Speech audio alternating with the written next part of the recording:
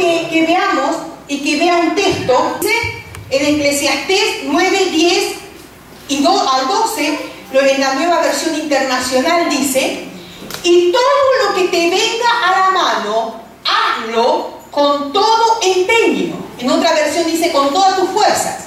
Porque en el sepulcro a donde te diriges no hay trabajo, ni planes, ni conocimiento, ni sabiduría. Dice, me fijé que en esta vida la carrera no la ganan los más veloces, ni ganan la batalla los más valientes, que tampoco los sabios tienen que comer, ni los inteligentes abundan en dinero, ni los instruidos gozan de simpatía, sino que a todos les llega buenos y malos tiempos. Vi además que nadie sabe cuándo le llegará su hora. Así como los peces caen en la red maligna y las aves caen en la trampa, también los hombres se ven atrapados por una desgracia que de pronto les sobreviene. Quiero por un momento que veamos aquí. Fíjese usted lo que dice la palabra del Señor. Dice, todo lo que te venga a la mano para hacer, hazlo. ¿Por qué? De acuerdo con, eh, con empeño, con toda tu fuerza, como dice otra versión. Porque al final de tus días, y la tumba es lo que nos espera a todos. Ricos o no ricos. Yo, tú, todos, nuestro fin es la muerte. Ahora dice, mientras estás en esta tierra, todo lo que puedas hacer, eso es lo que está queriendo decir, hazlo de la mejor forma que puedas hacer. Cuando está diciendo que nosotros por las circunstancias de la vida somos como los peces caen en una red, el pez no sabe cuándo va a caer en la red. Está nadando, nadando y de pronto hay una red, ¡guau! lo junta ahí y ya está. A nosotros sí, al sancocho. A nosotros nos pasa lo mismo. No sabemos cuándo sobrevienen las dificultades.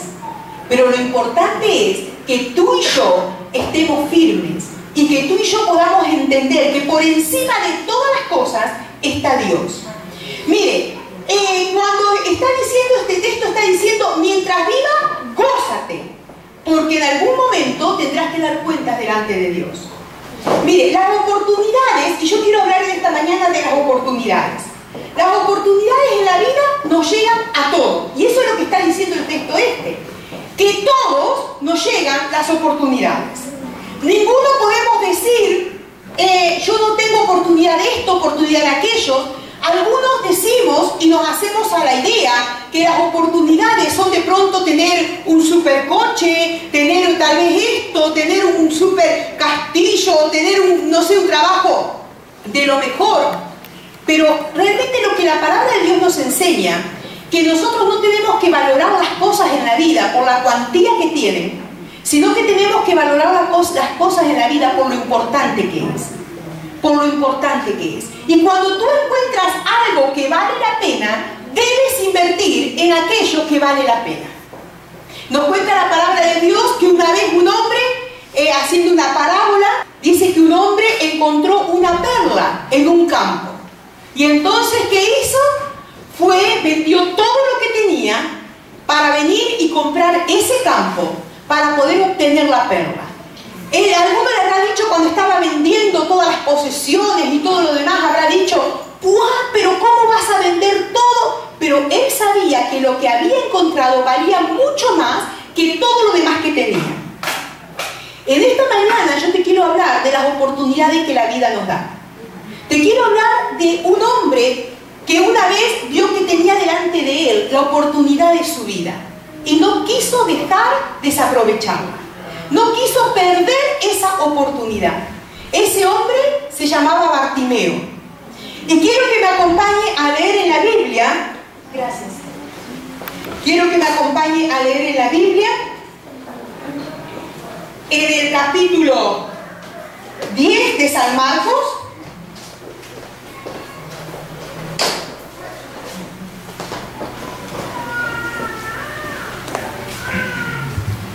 Mientras usted busca, yo quiero que usted recuerde una que de estos días yo estaba meditando. Hay dos cosas que, nos, que no vuelven atrás Tal vez a ustedes se le ocurren algunas más, pero yo en esta mañana quiero destacar dos cosas. Una, las oportunidades de la vida. Y otra, las palabras que decimos. Muchas veces después que decimos algo, decimos, no, yo no quise decir eso. ¿Lo escuchó usted? O dice, no, era broma. Pero en realidad, mi cuñada siempre dice, detrás de cada broma hay alguna verdad. Y muchas veces pensamos que después que decimos algo, queremos como recogerlo, no, ¿por qué dije esto? ¿Por qué? Pero ¿saben una cosa? Las palabras ya están dichas, están echadas como plumas al aire. Por eso es importante que antes de hablar pensemos bien en lo que vamos a decir. Porque hoy día, que escuchaba en otros días, que habían matado a uno, entre familias se había matado por cuestión de linderos, por 20 centímetros de terreno. Escúcheme, 20 centímetros.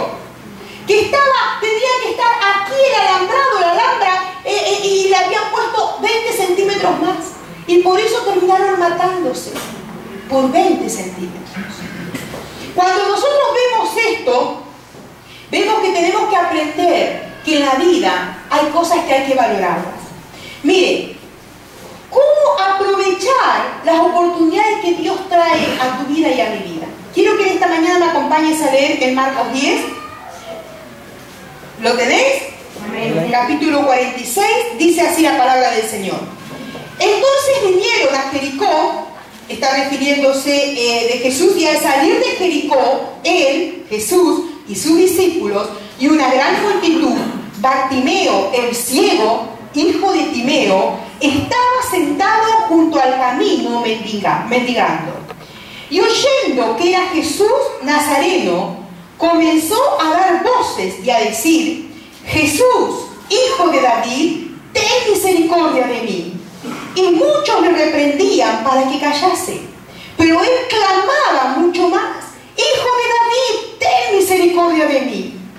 Entonces Jesús, deteniéndose, mandó llamarle y llamaron al ciego diciéndole, ten confianza, levántate, te llama.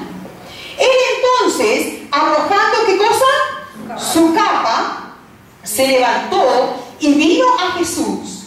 Respondiendo Jesús le dijo, ¿qué quieres que te haga? Y el ciego le dijo, maestro, que recobre la vista. Y Jesús le dijo, vete, tu fe te ha salvado. Y enseguida recobró la vista y seguía a Jesús en el camino. Queridos, este hombre era ciego, pero fíjese usted que él dice que estaba mendigando al costado del camino. Lo único que le había quedado era mendigar. No tenía fuentes de trabajo, posiblemente no, tenía eh, otras entradas, él estaba mendigando. Y en ese mendigar, usted sabe que antiguamente los mendigos eran muy despreciados, eran muy menospreciados, eran tenidos como algo, eh, como una basura, como algo muy vil, eran tratados vilmente. ¿Por qué? Porque se lo creía un descarte de la sociedad. Y él estaba ahí, sintiéndose así. Nosotros eh, nos sentimos distintos a lo que somos. Y yo me imagino que este hombre se sentiría un mendigo, pero la gente lo hacía sentir peor todavía. Entonces yo quiero que usted piense eso. Yo en estos días viendo lo que había con los refugiados, un hombre que con sus hijos en brazos decía, es que, porque alguien le preguntó, pero ustedes por qué arriesgan vuestra vida en esa situación? Y él decía, es que en nuestro país no tenemos estudios, no podemos tener estudios como la gente, no podemos tener eh, un plato de comida, un trozo de pan para nuestros hijos, ni un techo. Entonces todo lo que podemos arriesgar es poco a comparación de lo que nosotros tenemos allá. Queremos algo mejor. Cuando decía esto, a mí se me partía el corazón viendo los niños, viendo los ancianos caminando, como andando en esa... Y yo decía, Dios mío, y el, periodista decía, entre esta gente hay gente con estudios, con mucha preparación, médicos, licenciados. Y yo decía, Dios mío, qué triste, porque ellos cómo se sentirán unos marginados, porque la sociedad misma lo hace sentirse marginado.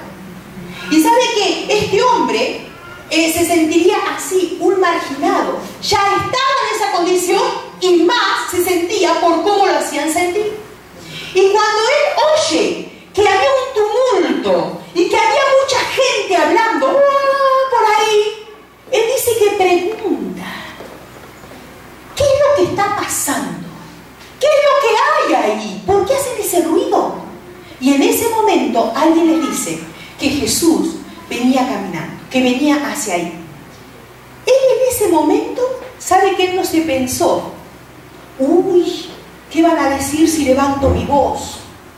Uy, ¿qué van a decir si de pronto eh, lo llamo? Él se puso ahí y empezó a clamar, Jesús, hijo de David, él habrá dicho, este es mi momento, esta es mi oportunidad, este es el hoy, este es el momento. Y cuando oyó que Jesús andaba caminando, él empezó a gritar, empezó a gritar, y ¿sabe qué? Nunca falta alguien que te desanima en la vida, ¿sí o no? ¿Usted conoce a los que desaniman? Capaz que conoce a gente que anima, pero hay otros que desaniman. Cuando de pronto uno dice, me he propuesto cambiar de actitud. ¿Tú cambiar de actitud? ¿Qué vas a cambiar de actitud si tú eres siempre el mismo? Cuando tú, cuando tú dices, no, mira, eh, ¿sabes que está más cambiado? ¿Cambiado? ¿Qué va a cambiarse si no cambia nunca? Esa es nuestra mentalidad. Es nuestro pensar humano. Porque así como hay gente que es muy animosa y te está diciendo siempre, ay, sí, qué bien, echa para adelante, qué bien, pero hay otros que te pinchan el globo. ¿Eh? ¿Y usted vio lo que es un globo pinchado? Eh, ayer jugaban los matrimonios con un globo y qué sé yo. Un globo pinchado, a veces nosotros somos iguales. Empezamos una vez y ¡pum! ¡Chao! Mire, y sabe que empezaron a desanimar, le decían, cállate, no hables, no grites, cállate. Y sabe que él, mientras más le decían, en, otro pasaje lo dice también, más él gritaba. Mientras más le decían, cállate, él más gritaba. Porque él pensó, esta es la oportunidad de mi vida y yo no puedo dejarla pasar. Y de pronto cuando oye eso, Jesús se detiene y le pregunta, ¿qué es lo que quiere? ¿Tú te crees que Jesús no sabía lo que él necesitaba? Claro que sabía. Pero ¿sabes una cosa? Jesús quería oírlo de sus labios. Él quería oírlo de sus labios. Pero me encanta que, un, que, lo que leímos antes, que en un momento determinado, cuando él oye que está Jesús y todo lo demás, él tiene una actitud que demuestra la decisión que él estaba tomando en ese momento. Y la actitud es sacarse la capa que llevaba sobre sus hombros para poder ir con más libertad hacia Jesús. Y nosotros hoy día eh, para nosotros es común el usar la capa. Una capa, las mujeres somos más guapas con capa, en todo lo demás, y, eh, es, es común. Pero ¿sabe que antiguamente la capa tenía un significado muy grande? La capa era la casa del mendigo. Ellos la tendían sobre el suelo, se tiraban ahí y se tapaban con la capa.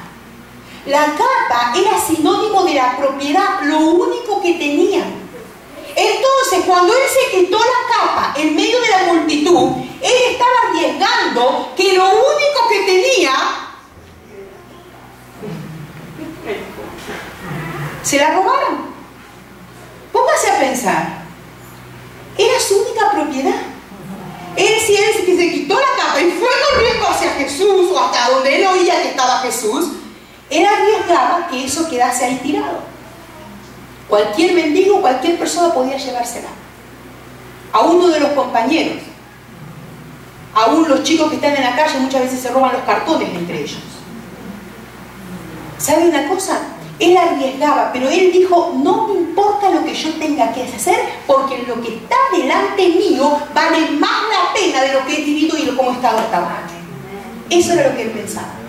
Y cuando pensaba en eso, Queridos, dice que él fue hacia Jesús, Jesús le pregunta qué es lo que quieres que te haga. Y, mire, él, eh, en ese momento usted imagínese que él está delante de Jesús y él le hubiese dicho, mira Jesús, unas gafas negras necesito.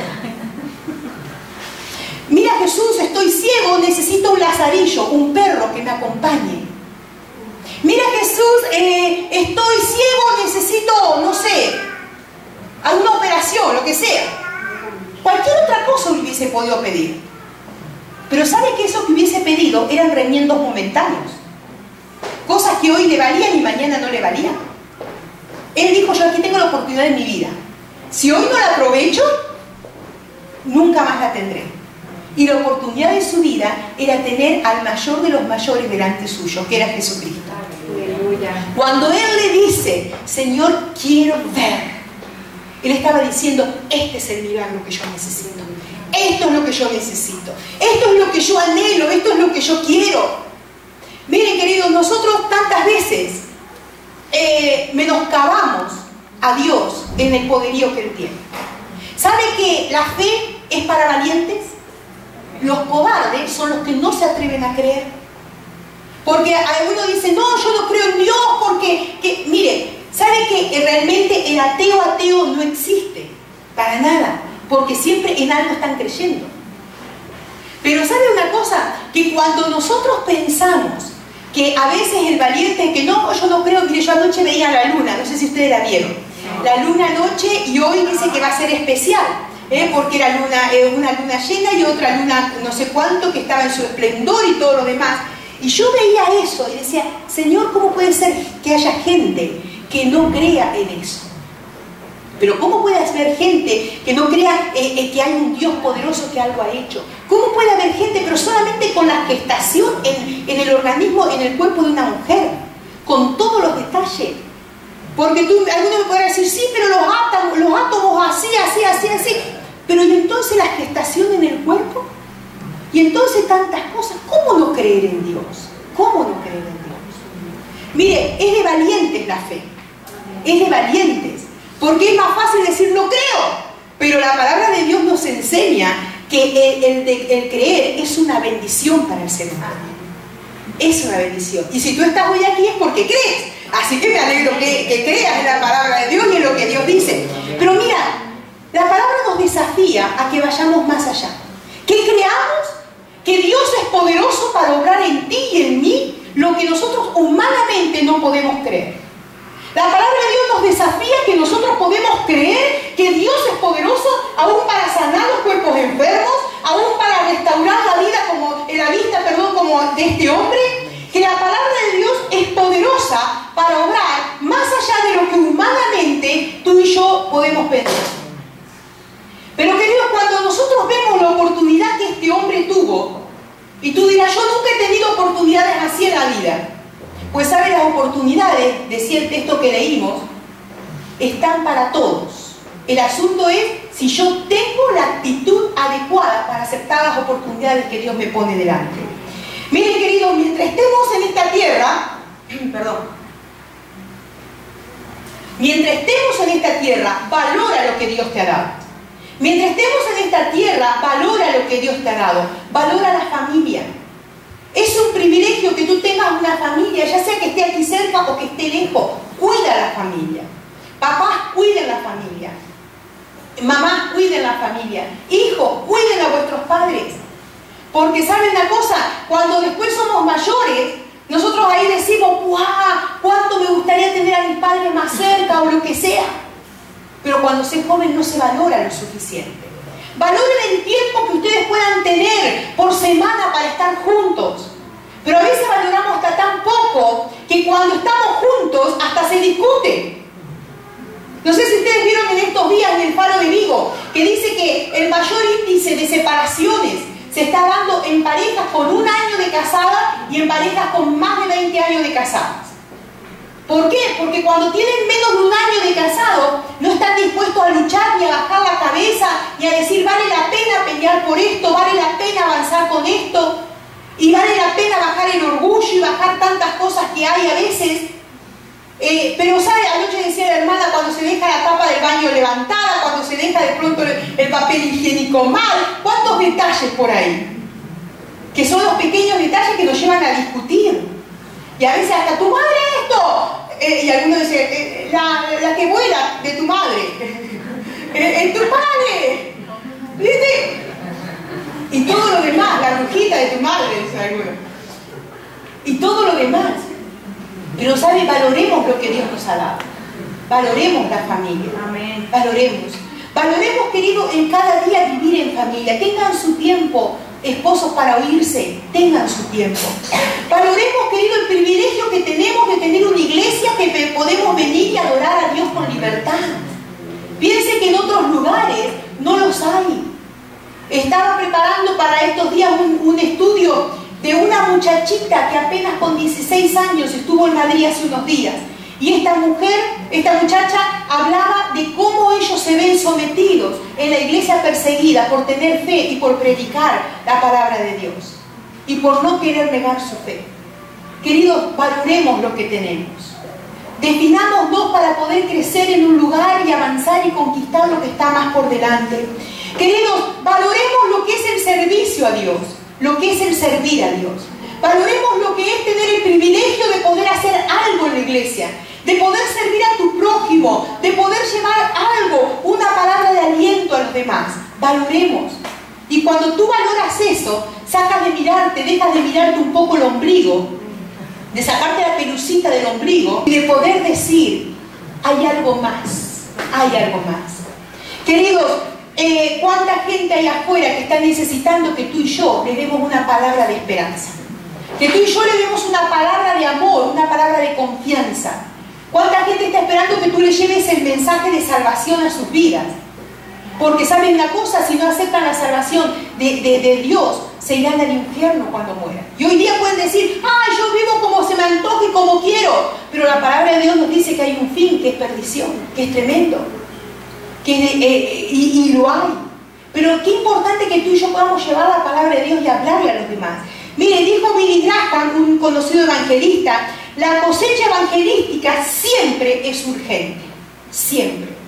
No es, bueno, antes fue más necesario que ahora, siempre es urgente. Es necesario que abramos la boca y que evangelicemos, que demos la esperanza para los que están perdidos. Miren, querido, es necesario que nos despojemos de todo lo que es apatía, lo que es la indiferencia. Mire, este hombre se despojó de la, de la capa, pero nosotros cuántas veces tenemos cosas en nuestro interior que tenemos que aprender a despojarnos, como nuestro orgullo, nuestra indiferencia, nuestra apatía. Tantas cosas que están ahí, nuestro temperamento que no es el adecuado, nuestro carácter que no siempre es el, adecuado. Despojarnos de esas cosas, porque Jesús nos está llamando para que vivamos un tiempo nuevo. Jesús nos está llamando para que podamos vivir una vida nueva con Él. Y esto no es solamente para los que están eh, recién comenzando las cosas del Señor, es para todos nosotros. Cada día, dice la palabra de aquí, yo estoy a la puerta y llamo. Cada día. Si abrimos la puerta de nuestro corazón, Dios entrará y obrará en nosotros. Queridos, cuando la palabra de Dios nos habla de que es necesario valorar las cosas, porque no sabemos cuándo será nuestro fin.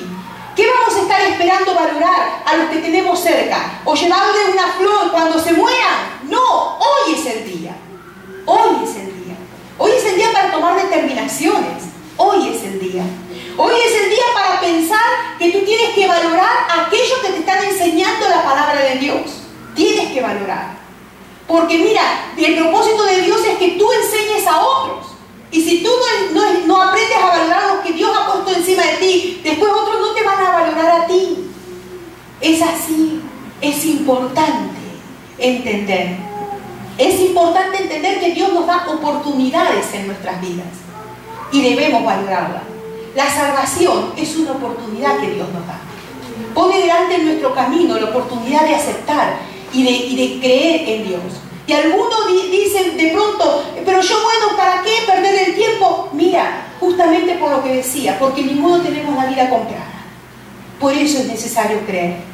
Mire, cuando nosotros entendemos de que tenemos que despojarnos aún de cosas que nos perturban, nos molestan, a veces vicios que están en nuestras vidas, cosas que están en nuestra vida. ¿Por qué? Porque es necesario venir a Jesús y derramarnos ahí en el altar y decirle, tal vez he, he probado una cosa y he probado otra, pero nada me ha satisfecho. Pero ahora quiero probar lo que hay en Dios. Quiero probar lo que esta gente está diciendo. Quiero probar a ver si es verdad lo que estos dicen. Y cuando tú dices eso, comienzas a vivir una vida totalmente distinta en Dios. Queridos, hay más en Dios. Tengas un año de convertido, tengas o de haber aceptado a Cristo en tu corazón, no tengas 80, pero hay más en Dios cada día. Dios te da oportunidades. Dios te da oportunidades de que busques la llenura de su presencia, de su espíritu. Dios te da oportunidades. Dios te da oportunidades de que tú puedas gozar de comunión directa con Dios. Ya no necesitas ir a otro para que se interceda delante de Dios. Dios mismo te está escuchando. Cuando tú ves eso, este es el tiempo, esta es la oportunidad, este es el hoy, para que tú aprendas lo que es buscar la intimidad y la comunión con Dios. Muchas veces dicen, yo voy a servir a Dios cuando ya pasan los años y que esto y que aquello, pero sabe que a Dios se le comienza a servir con las pequeñas cosas, en las pequeñas cosas, y Dios después te pone en lo grande. Pero la cuestión es ser fiel en lo poco. Mire, si tú no eres fiel en lo poco, en lo mucho, dice que Dios no te pondrá. Ni no me pondrá ni a mí tampoco, ¿eh? ni a ti ni a mí, eso no está claro. Miren, queridos, cada uno tendremos que dar cuenta delante de Dios un día de lo que nos ha sido dado a las manos. Cada uno. De lo que nos ha sido dado, tenemos que, vamos a ser responsables aún de nuestros talentos que Dios nos ha dado, nuestras habilidades que Dios nos ha dado. ¿Y cómo la estamos invirtiendo? ¿Qué estamos haciendo con eso? ¿De qué forma? Miren, dice en la palabra de Dios, en 1 Corintios 16, dice, porque se me ha abierto puerta grande y eficaz, y muchos son los adversarios. Siempre va a haber cosas que te impidan el que tú te levantes y avances en Dios. Siempre. Primero, tu yo mismo, falta de fe, tu incredulidad, tu, un montón de cosas. Y después lo que hay alrededor, que a veces impide que tú seas libre y que vivas para Dios. Pero sabes una cosa, esto es como el hombre que encontró la perla en el campo. Valía tanto lo que él había encontrado que se despojó de todo lo que tenía para adquirir eso que estaba ahí delante. Yo no sé qué es lo que tú te puedes plantear en esta hora que tal vez te está costando en las cosas de Dios. Pero es necesario quitarte la capa símbolo de tu propiedad, símbolo de lo que tú sientes como tuyo, símbolo de lo que tú has vivido como hasta ahora. Y entender que si eso no te ha llegado a colmar ni a satisfacer, hay algo más que Dios te ofrece. Y es cuestión de avanzar y conquistar. Es cuestión de disponerse en las manos de Dios. Mire, cuando nosotros entendemos que queremos vivir con nuestra imagen o lo que nosotros tenemos en nuestra cabeza, no nos vale. Aquí lo que vale, ¿qué es lo que Dios quiere? Y cuando el hombre dijo, lo que yo quiero es recibir la vista, sabe que el, milagro fue inmediatamente hecho. Fue inmediatamente hecho. Querido, querida, tú no has nacido para otra cosa que para adorar a Dios. Tú has sido engendrado para que tu vida sea una adoración a Dios. Que puedas conocer a Dios en la dimensión que Dios quiere que tú le conozcas. Por eso, mira, yo te animo que podamos no quedarnos simplemente con lo poco que hemos caminado hasta aquí. Sea que tienes un año, 20 años, lo que sea. Yo te animo que podamos levantarnos, avanzar y conquistar por lo que hay por delante. Porque la oportunidad de Dios está ahí, está ahí. Iglesia del Señor, no nos durmamos, crezcamos en el Señor. Si tienes oportunidad de estudiar la palabra de Dios, estudia, métete a estudiar. Si tienes oportunidad, sé fiel en tu iglesia, avanza, conquista. Mire, sé, busca lo, más importante, aquellas cosas que están delante en la moral de Dios, que están en el corazón de Dios, en la palabra de Dios. Están para que tú y yo la aprovechemos. Son oportunidades de Dios. No mires ni pienses con el concepto de otro, porque eso no te bendice. Porque conceptos humanos hay de todo para todo. Pero busca la palabra de Dios, lo que Dios dice, y ahí encontrarás la vida eterna. Ahí encontrarás el camino, ahí encontrarás la respuesta cada día. Aún a las dificultades más tremendas que hay alrededor, pero ahí Dios estará siendo la respuesta para tu corazón. Queridos, queridas, Dios nos pone oportunidades de mayor servicio, de mayor entrega, de mayor búsqueda, de mayor consagración, como cantábamos hoy en el altar. Dios nos da oportunidades. La cuestión es si yo estoy dispuesto a sacarme la capa de todas las cosas que molestan para correr a Jesús, tirarme a sus pies y decirle, Señor, no sigo luchando más. He encontrado lo que más he querido. Por lo tanto, yo caminaré en pos de lo que he encontrado. Al Rey de Reyes y Señor de Señores. Yo te invito a cerrar tus ojos por un momento.